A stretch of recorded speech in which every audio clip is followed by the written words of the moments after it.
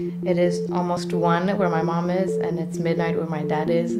So I didn't expect them to pick up the phone. I'll just call them tomorrow morning. I like being independent. It felt good to have my family around because obviously I could say bye to someone and someone's there to help me out through this. Because I'm just a kid still, obviously, and it's nice to have someone to help you out still.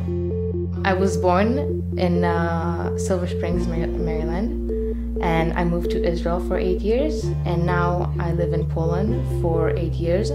My, after my ninth year, I will go back to Israel for three years to serve, uh, voluntarily serve in the IDF, Israel Defense Force, as a paramedic. And then I'm planning to come back here to study medicine, hopefully. I feel like from this program, I would get an introduction to what it will be like being a paramedic back in Israel. I just want to know if uh, medicine is really what I'm interested in before I go spend uh, um, eight years worth of tuition.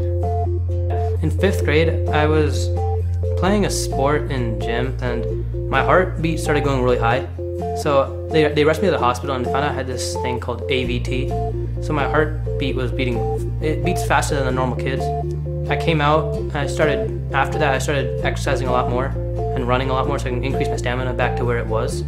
And eventually I, I pretty much got over it. My, my heartbeat's normal now, it doesn't like go up too high when I play sports or anything. I went to go see a cardiologist afterwards and seemed was so intriguing. So I was like, if I, I, by then I knew I was going into medicine, but I didn't know what kind of medicine. And then after seeing what kind of work he did, it just pulled me towards that field.